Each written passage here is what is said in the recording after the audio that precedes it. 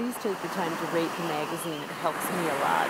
Thank you. More jewels coming.